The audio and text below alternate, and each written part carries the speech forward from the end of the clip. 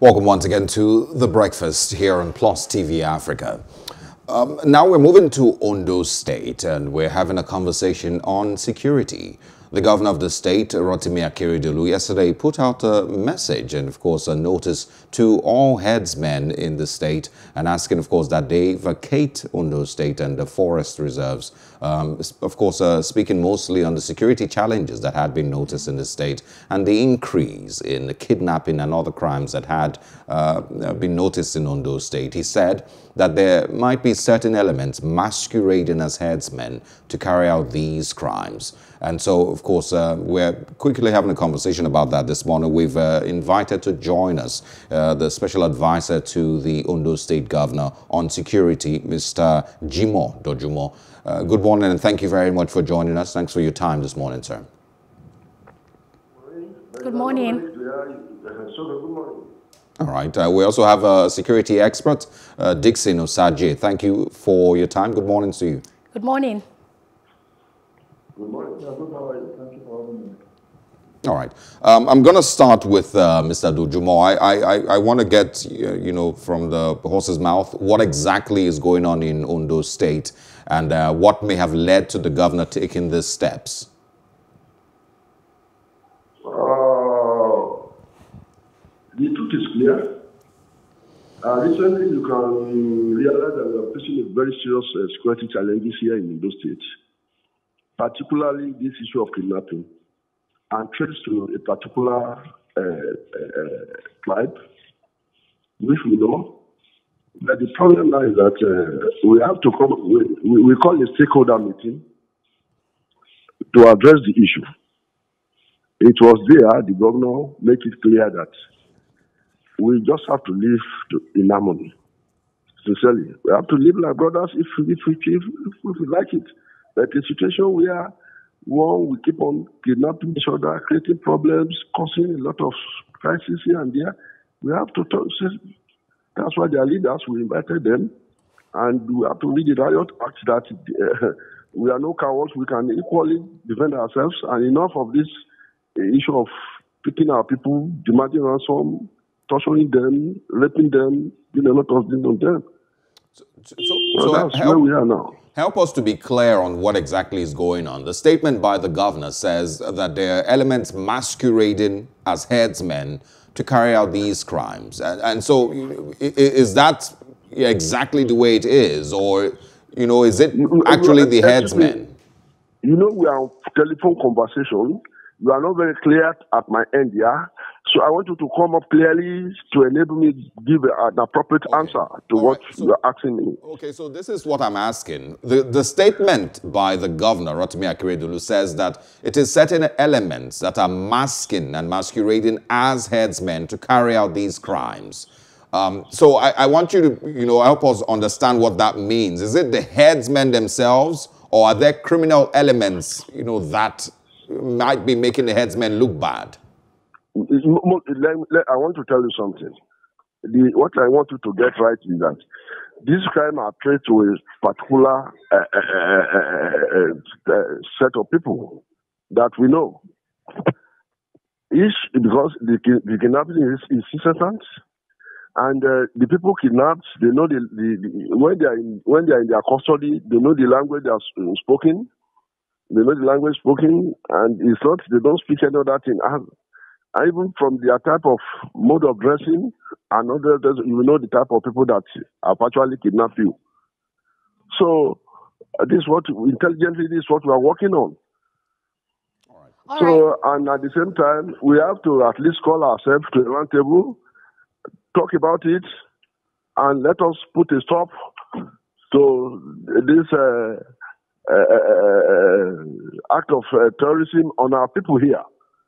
Because if anybody will have to come and stay with you as a tenant, there must be rule and regulation. They must have to live with you in harmony. That's what we are saying here. Okay, let's uh, let's bring in uh, Mr. Dickson Osajie into this issue. I mean, over, all over the news, you hear cases every day of suspected headsmen attacking innocent people, attacking even the recently constituted Amotekun Corps members. You know, now the government, the governor has said that uh, they want to tackle this by giving an ultimatum for all headsmen to leave within seven days. From a security angle, Mr. Osagie, would this work? Uh, sincerely, I'm having one problem with your with uh, this our communication. You are not completely very clear to me here. No, I'm talking and to Mr. uh, if, I, if I've gotten your, uh, if, if, I, if I'm able to get you clearly, I'll be able to give an appropriate answer to your Okay. questions. Okay, Okay, ho- hold on, Mr. Then Can you Dojumo. come in short? Just be very short with your question because you are not very clear here. Okay, Okay. Mr. Dojumo, could you kindly just hold on? Uh, Mr. Osajie, can you hear me? I'm hearing you now. Come Oh, up. Yes, oh, I can hear you. Okay, Mr. Osajie, this question goes to you.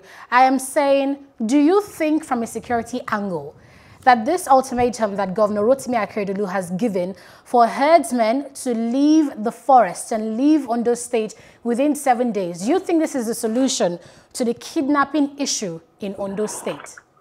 There was there, no. That, let, let us get something clear.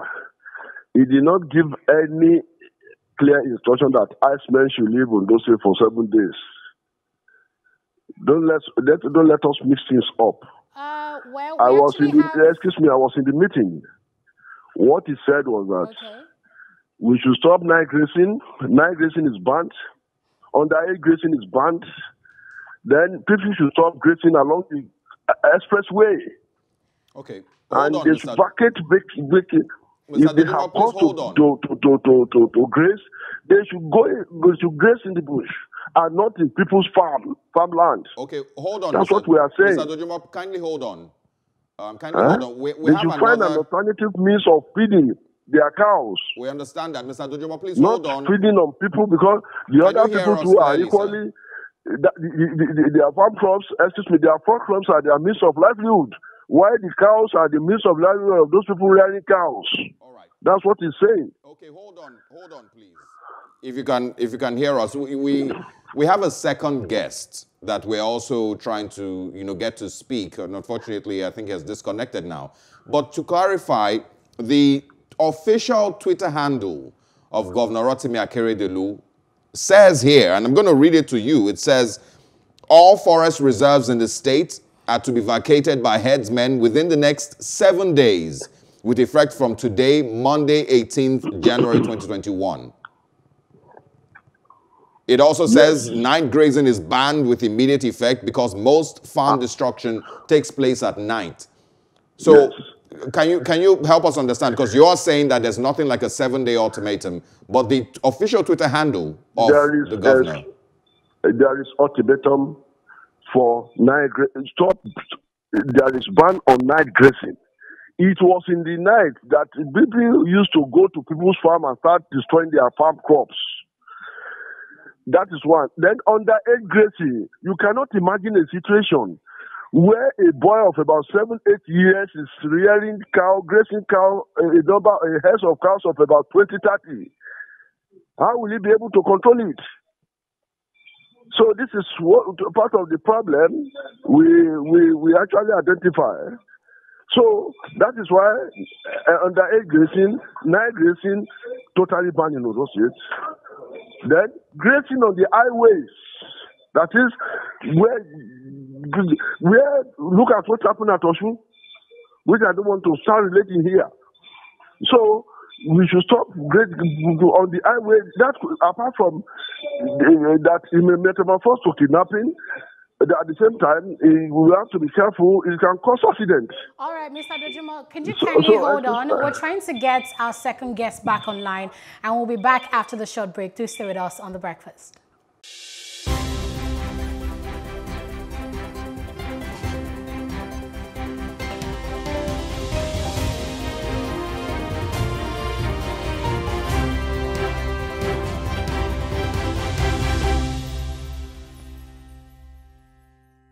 You're welcome back to the conversation on The Breakfast on Plus TV Africa. If you're just joining us, we have with us the special advisor to the governor of Ondo State, Rotimi Akeredolu, on security matters, uh, Mr. Jimoh Dojumo. Also, we have security experts, Dickson Osajie, and we've been analyzing the issue in Ondo State, the uh, seven-day ultimatum that the governor has given to all headsmen to leave the state or register if they want to continue their farming operations. So, uh, Mr. Osajie, just before we went on that break, I was asking you to, about your opinion. If this ultimatum Governor Akeredolu has given is what will solve the problem of kidnapping in Ondo State? All right, thank you very much uh, for having me. Good morning to everyone. Uh, I think I, I heard about uh, the decision of the uh, governor of uh, Ondo State and uh, I, I, would like to uh, uh, put in my own light to those to that decision. for me, I think the governor is trying to secure the lives and properties of the citizens and people of Ondo State. And actually, to be very honest, uh, he is not far from the truth, or uh, I would say he has not taken any departure from the normal. Uh, first of all, before we look into the analysis or the reasons why the governor gave that decision, uh, we need to know what went wrong uh, in Ondo State. Uh, what are the security challenges? Uh, one of the security challenges in Ondo State are kidnapping, terrorism, uh, destruction of uh, farmers' crops. Now, who are the perpetrators of this of these activities? It is likened to grazing. It is also likened to Fulani herdsmen who carry their cows around the, the uh, space. Now, we need to look at the government space, Anita. Uh, the government space uh, can be likened to state weakness. Uh, the government space offers multiple benefits to uh, terrorist groups. The government space offers provision for safe havens for criminals and terrorists. Our government space also gives terrorists the opportunity to plan, train, indoctrinate, and secure access to weapons and equipment. The government space also creates room for illegal smuggling to generate income. Now, having looked at this, having looked at these characteristics, will you ask me if the decision of the governor is accurate? I would say a big yes, because the government space is not a place where we have the uh, police presence. We don't have the military presence. We don't have police posts. What are you doing in the forest? Now, if you remain in the forest, you are a threat to the state. You are a threat to the society because nobody is checkmating your activities. I am not going to say, uh, the only uh, point I'm going to say uh, the governor went wrong was to specify that herdsmen should leave uh, their government space, should leave the forest. Are you telling me it's only the herdsmen are in, are in the forest? I would say no. So the governor would have come and say the herdsmen or anyone occupying the government space, occupying our, our, our, our forest should vacate that environment. All right, this is room for us not to think that uh, uh, the governor is trying to stereotype some uh, ethnic. Yes, we, we understand your points and they're well noted. Uh, Mr. Uh, the the SA, let's bring you in now if you can if you can hear us. Let's talk about the registration. You know, the governor has also said, you know, leave within seven days, or if you want to continue operating in the forest, uh, you know, to for your cattle to graze you need to register. Can you tell us about this registration? What's the process going to be like? Where are they going to register? How long is this registration going to take place? Just what are the logistics that have been put in place by the government of Ondo State to see this uh, registration uh, come to light? Uh, I think uh, let me start from what, let me pick from what the last speaker said. That where the government went wrong is uh, banning or the the illegal occupant of uh, the the reserve forest. Okay, go ahead. I said, oh, let me put it straight. What the governor said is that if you are occupying that forest illegally, he is not saying that Nigeria you can occupy anywhere. That you cannot occupy that place without a permit. We have our own indigenous farmer in the forest occupying the place. They are registered. And he is clearly saying that if you have cause to occupy the forest, come and register. When right. you register, you will be known. So, Mr. Dojumo, the question now is, uh, sorry to interject, but the question now is, how are they supposed to register? Can you let us know the logistics that are being put in place for them to go and register to be allowed to graze, for their cattle to graze in the forest in Ondo State? Are you saying how could they be registered? Yes. How? What's the process of the registration? Where well, would they the go to? Is it local governments? What's the process? Our Minister of Agri that registered all the farmers occupying the forest. They can still go through the process with the uh, Minister of Agri and to register themselves, identify yourself, register yourself, that I wanted to do business, I wanted to do one or two business in the forest and disclose yourself, not illegal occupation, not just coming from nowhere, occupying their place, doing nothing there. Okay. The people uh, occupying there presently who are who are who are who are from this state, the farmers, eh, they have means, they are all farmers there. We can we are located lands. They are officially right. given uh, uh, lands, and these people are they are farming on those lands But these people just come and just occupy, just litter everywhere without doing anything in the forest. All right, Mr. Dojimo, I, I, want to I want to come in here. Um, I read, you know, a report yesterday also from a person called Baba Usman, the national secretary of the Miyetti Allah Cattle Breeders Association. And they are saying that they have no agreement with Governor Rotimi Akeredolu to uh, vacate the forest um, in seven days. It says that uh, a series of agreements had uh, reached, been reached with the government, but it didn't, um, you know, include vacating the forest. Um, are you aware of this, and how do you think that the government should respond to this?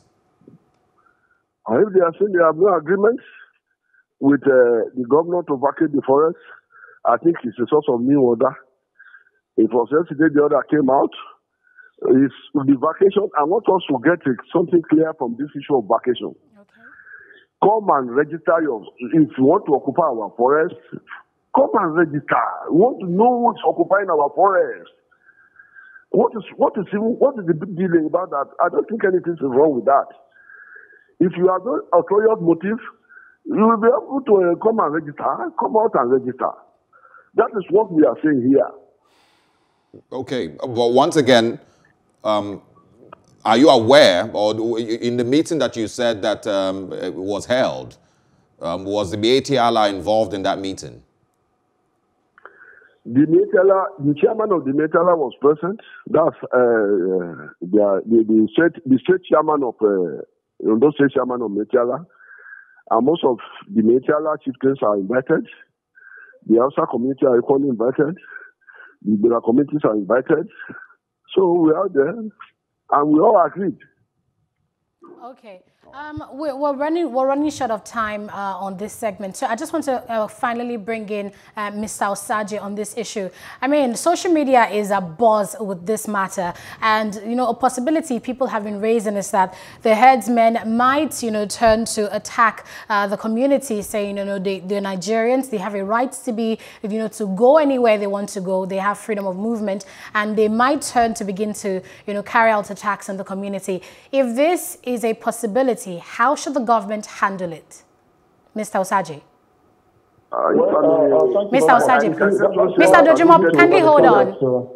Hello? Mr. Dojumo, kindly hold on. Let's bring in Mr. Osajie for this one. It's okay, it's okay. Thank you. Mr. Osajie, please go ahead. Oh, oh all right. Uh, you see, uh, that is the uh, essence of having what we call forest guards. You know, if the Ondo State governor will want to have a very good, secure uh, those State uh, should, uh, you know, enforce a maximum uh, forest guards uh, that will carry out the, uh, you know, surveillance of the forest. Because, like Mr. Jimoh rightly said, that the governor or the state government has asked whoever is interested in the uh, staying in the forest should come and register. That is a form of tenancy. I agree with that. Register so that uh, your details will be captured, your presence will be captured, so that there will be ability for the state government to monitor your movement in and out of the forest should peradventure anything goes wrong or any uh, act of terrorism or kidnapping goes wrong, they'll be able to have a trace or have a track of whoever committed uh, such acts. For me, I think it's a welcome development uh, by the state governor. And uh, we'll also want uh, those staying in the forest without uh, the consent of the state uh, to vacate the forest or else whatever goes wrong, uh, they will be held accountable. And uh, the governor should also look at projecting surveillance activities in the forest because it's not all about asking people to vacate the forest. What are the security mechanisms you're going to put in place to ensure that crime does not take place. That is where uh, surveillance uh, activities uh, should be applied to All mitigate right. the threat. Uh, unfortunately, we're out of time. Um, Dix, uh, Dickson Osajie, thank you so much for stepping in and for sharing your thoughts with us. Thank you. we'll look forward to speaking with you again. Thank you, Bob. All right, Mr. Jimoh Dojumo, thank you also for taking our time to speak with us. Thank um, you, and I hope thank that you. we can bring you in again um, if there's uh, any development to this story and to clarify some of the things that we, we may have missed out uh, this, this morning. Thank you once again. Thank you. Thank, thank you. you. Have thank a great day. All right. Um, well, see, one question on my mind, Osarage, is these people have been asked to leave or register. How many of them are literate enough to register? How, okay, for example, now the government is saying that they had, and Mr. Dojumo said they had stakeholders of Yetila in the meeting, but now they're saying they were not involved. So if this is where we stand, how do they get the appropriate information across to the headsman that's in the forest right now? How did they get the information across to them for them to go and register? Now, if they're eventually forced to leave, which other states do they go? So there's so much issues. Like I think this is this is something that we need a national issue for it's, uh, because uh, there. I mean, I mean, there are cattle rearers everywhere. There are headsmen everywhere, and one state rejects them. They go to the next state. Whatever issue happens, they blame it on the herdsmen. Maybe they did it. Maybe they did it. I don't know. But I feel that the government needs to, you know, really think about this issue and find a solution once and for all to this issue. I totally agree. Um, I also would say it's you know, high time that we once again start to talk about ranching. Yes. Um, and stop having people just roam around the country with cattle looking for, you know, how to feed them. Um, whoever buys cattle should make arrangements for how they will be fed. Um, and, and lastly, if you are an entrepreneur, I mean, this this this is a huge opportunity uh, for agriculture. We've known this business. opportunity this is something you can definitely invest in. I mean, we need we need solutions. We need tech innovative solutions right now in agriculture, you know, to help us, you know, tackle other issues like security as well. So yes, this is where we'll draw the curtain on this segment of the program. Our next guest is standing by to help us discuss issues with the National Drug Law Enforcement Agency. Uh, you know, they just discovered you know, this huge stash of cocaine at the airport and what the new NDLEA executive chairman is saying about this. In just a moment, do stay with us.